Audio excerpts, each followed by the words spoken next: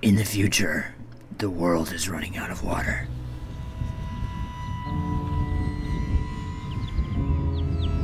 Water is scarce and nearly impossible to find.